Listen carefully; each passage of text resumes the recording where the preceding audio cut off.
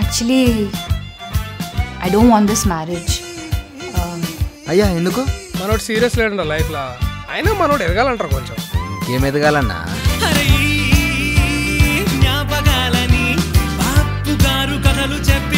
మన పేరుకే ఇంజనీర్ పొట్టకొస్తే అక్షముకు రాదు